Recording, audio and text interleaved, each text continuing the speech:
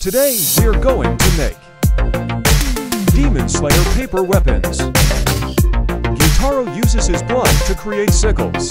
Now get A4 paper, and let's fold paper sickles. A4 size paper.